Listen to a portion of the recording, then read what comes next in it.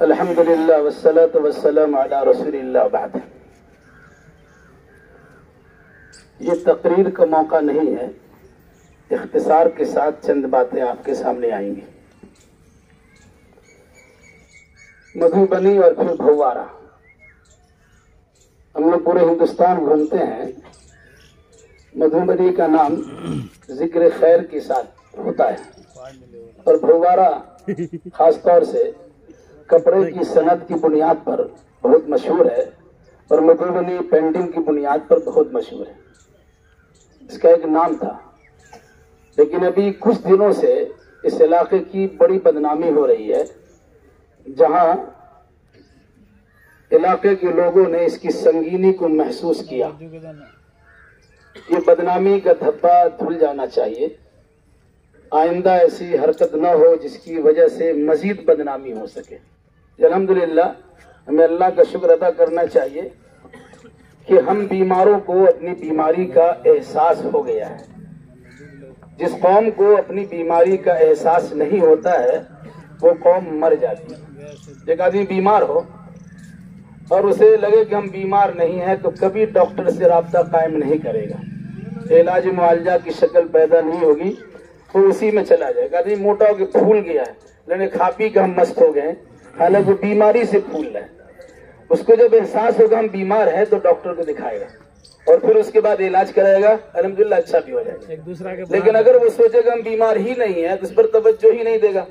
جب توجہ نہیں دے گا تو اس کی بیماری بڑھتی چلی جائے گی۔ اور اخیر میں اس کا انجام جو ہوتا ہے وہ آپ کے سامنے۔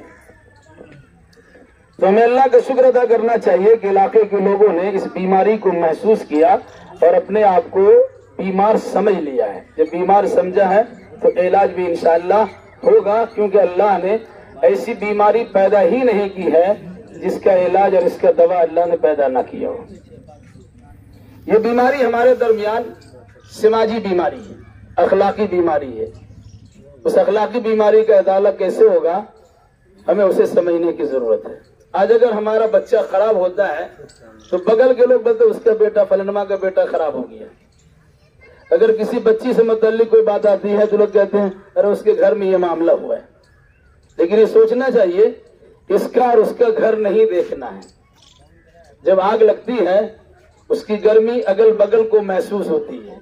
اور اپنی آگ زبان میں جب اس کا کوکڑا آ جاتا ہے، تو دوسرے گھر میں بھی آگ لگ جاتی ہے برائیاں تیزی سے پنپتی ہے، اچھائیاں لوگ لینے کے لیے تیار نہیں ہوتے۔ آج جو سماج میں خرابی ہے جس سے دہشت پھیلی ہوئی ہے۔ سیدھا سادہ آدمی راستہ چلنے میں ڈر محسوس کرتا ہے۔ کس کی جوان بچی ہے اسکول، کالج، یونیورسٹی یا کہیں تعلیم یا کسی دوسرے ادارے میں یا کسی دنیاوی اغراض و مقاصد کے تحت یا کسی رشتہ دار کے پاس جانا بھی چاہے ان کو ڈر لگتا ہے پتہ نہیں کس کا کس پر حملہ ہو جائے گا۔ بچے بھی پریشان ہیں، بچیاں بھی پریشان ہیں، جوان بھی پریشان ہے گارجن بھی پریشان ہے بوڑھے لوگ بھی پریشان ہیں۔ سب لوگ اس پریشانی کو محسوس کر رہے تھے، لیکن زبان کھول نہیں رہے تھے، یہ ہمت نہیں کر رہے تھے۔ الحمدللہ، جن نوجوانوں نے یہ آج ہمت کی ہے، یہ قابل داد ہے، قابل تحسین ہے، اس کی تعریف بھی ہونی چاہیے اور اس کا سپورٹ بھی ہونا چاہیے۔ کیونکہ ڈر لگا رہتا ہے، خدا نہ خواستہ کسی کے خلاف ہم کارروائی کریں گے، سب لوگ تو چلے جائیں گے، وہ ہم پر حملہ بول دیں گے۔ اللہ سے اگر کوئی انسان ڈرتا ہے تو الحمدللہ، راستہ ہموار ہو جاتا ہے۔ اس لیے اگر یہاں کے نوجوانوں نے یہ قدم اٹھایا اور ایک نشست بلائی، جس اسکول میں ایک پروگرام منعقد کیا، علماء کرام، ذمہ داران، سیاسی بصیرت رکھنے والے افراد، چھوٹے بڑے سارے یہاں موجود ہیں، جس کی موجودگی میں ایک پلان بنے گا، ایک پروگرام بنے گا، ایک لاحمل تیار ہوگا اور اس کے مطابق انشاءاللہ عمل کیا جائے گا۔ یقیناً اس بیماری کا خاتمہ ہو سکتا ہے اور اس برائی کا علاج ہو سکتا ہے۔ ایک حدیث سن لیجیے، بعد میں ختم کروں گا، ہمارے پاس شیخ طیب صاحب اور دیگر افراد موجود ہیں۔ حدیث میں ایک مثال بیان کی گئی۔ ایک انسان دریائی سفر کرتا ہے، کشتی دو منزلہ ہوتی ہے، دو منزلہ جہاد ہوتا ہے۔ کچھ لوگ نیچے بیٹھتے ہیں، کچھ لوگ اوپر بیٹھتے ہیں۔ اوپر میں پانی کا بندوبست نہیں ہوتا، انہیں پیاس لگتی ہے، پینے کی ضرورت پڑتی ہے جب پانی لینے کی حاجت آتی ہوتی ہے، اوپر والے نیچے والے کا معاملہ ہوتا ہے۔ اوپر پانی کا انتظام ہے۔ نیچے والے کے پاس پانی کا انتظام نہیں ہے۔ یہ اوپر بار بار چڑھتے ہیں، وہاں سے پانی لے کے آتے ہیں۔ ان کو لگتا ہے کہ بار بار اوپر ہم کیوں جائیں گے؟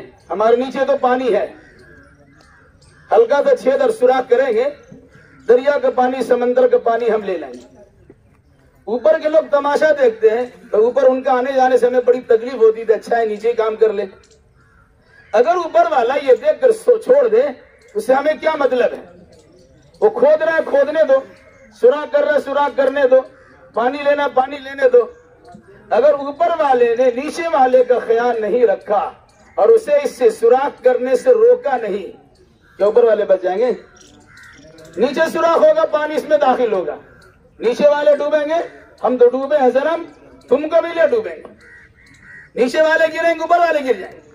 ذمہ دار طبقہ اگر سوچے کسی کا بچہ بگڑ گیا، بگڑتا ہے، بگڑنے دو۔ یاد رکھیے گا، اگر آپ نے پرواہ نہیں کیا، اس کی زہریلی سوچ آپ کے گھر تک پہنچے گی۔ اور زہریلی اثر آپ کے گھر تک پہنچے گا۔ نتیجے کے طور پر آپ بے بس، بے قابو ہو جائیں گے۔ پھر کیا ہوگا؟ آپ کے ساتھ بدتمیزیاں ہوگی آپ پر ڈھیلا برسایا جائے گا، پتھر برسایا جائے گا آپ کے دروازے کو روکا جائے گا۔ دروازے پر الٹی سیدھی حرکتیں ہوگی اور علاوہ اس کے راستہ چلتے ہوئے آپ پر حملہ ہو سکتا ہے۔ یہ سوچئے گا کہ فلاں کا بچہ کر رہا ہے۔ کبھی ایسا نہیں سوچنا چاہیے، ورنہ اس کے اثرات آپ کے گھر تک پہنچیں گے۔ ہو سکتا ہے آپ شریف لوگوں کے بچوں کو اپنے چنگل میں پھنسا لیا جائے۔ اور آپ کے بچے کو آپ کے خلاف کر دیا جائے۔ اور نتیجے کے طور پر آپ کا بچہ ان کا ساتھ دے دیا۔ جن کو آپ انٹی سوشل سمجھتے ہیں، سماج میں سرپرست انا- سر پسند عناصر سمجھتے ہیں، ان کے گینگ میں جا کے آپ کا بچہ مل گیا ہے۔ آپ نماز روزہ کرتے رہیے زکات و صدقات دیتے رہیے، دنیا بھر کی لمبی چوڑی تقریر کرتے رہیے، سماج میں آپ کی پگڑی اچھالی جائے گی اور آپ کہیں کا نہیں رہیں گے۔ اس لیے ہم بہت ہی قابل داد سمجھتے ہیں ان نوجوانوں کو جنہوں نے اپنے معاشرے کی اصلاح کے لیے قدم اٹھایا ہے اور الحمدللہ ایک جگہ جمع ہو کر جوانوں کی بڑی تعداد کو یہاں بلایا ہے۔ بوڑھے نہیں کر سکتے ہیں، یہ جوان کر سکتے ہیں۔ ان بچوں کی شناخت کی جائے، ان کی پہچان کی جائے، ان کے لوگوں، ان کے گھر والوں تک خبر دی جائے، ان کے گھر تک پہنچا جائے۔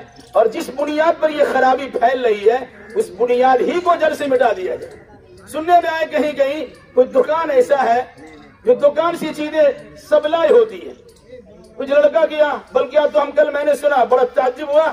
آن لائن سپلائی ہوتی، فون کر دیا، فلاں جگہ بھیج دو۔ گھر کی عورتیں پہنچا رہی ہے، چھوٹا بچہ پہنچا رہا ہے۔ آپ کو شک کو شبہ اس پر نہیں جائے گا، یہ بچہ بھی ایسا کر سکتا ہے، گھر کی عورتیں سے کر سکتی ہے اور یہ دکاندار ایسا کر سکتے ہیں۔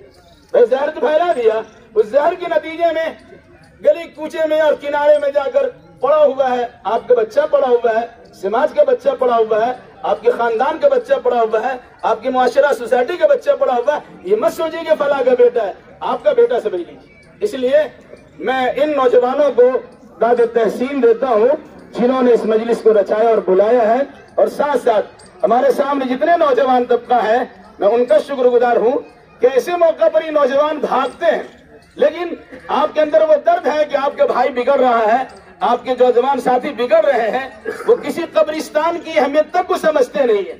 قبرستان میں بیٹھ کر، اس کے پیپل کے درخت پر بیٹھ کر، مردہ کی قبروں کو دیکھ کر، جہاں انسان پہنچنے میں ڈر محسوس کرتا ہے، وہاں اس قسم کی حرکتیں ہوتی ہے میرے بھائیوں یقیناً آپ کے اندر یہ سمجھ پیدا ہو گئی شور جا گیا ہے کہ ہمیں اسے ختم کرنا چاہیے۔ تو جمع کرنے پر آتے ہیں، سمندر پاٹتے ہیں، کوہ سے دریا بہاتے ہیں۔ اگر آپ کرنے کے لیے آئیں گے، تو سیل روا کو روک سکتے ہیں۔ برائی کے برائی کے سیل روا کو بھی روک سکتے ہیں۔ اگر آپ تیار ہو جائیں، تو ایسے لوگوں کی گرفت پکڑ سے کر سکتے ہیں۔ اور سماج میں ایسے لوگوں کو بلا کر ان کی زبردست تحدیبی کارروائی ان کے خلاف کر سکتے ہیں۔ کل وہ بچہ آپ کا ساتھ دے گا کہ نہیں بچہ آپ نے ہمارا ساتھ دیا ہے، ہمیں برائی سے روکا ہے، ہمیں خرابی سے روکا ہے، ہمیں صحت کی اور تندرستی کی خرابی سے بچانے کی کوشش کی ہے، سماج میں بدنام ہونے سے بچائے، یقیناً وہ آپ کی خیر خواہ بن جائیں ہم نے دیکھا ہے، جو لوگ بڑے بگڑے ہوئے ہوتے ہیں، اگر انہیں اخلاق کس سے سمجھایا جائے، پھر وہ آپ کے قدر داں بن جاتے ہیں کہ انہوں نے خیر خواہی کی ہے۔ خیر خائی کے نتیجے میں کام آگے بڑھتا ہے۔ میں گزارش کرتا ہوں، اپنے ذمہ داروں سے اس کو کوئی اچھا لائح عمل دے کر کے لائح عمل تیار کر کے، اس سلسلے میں ایسی کارروائی کی جائے تاکہ سماج سے یہ برائی مٹ جائے۔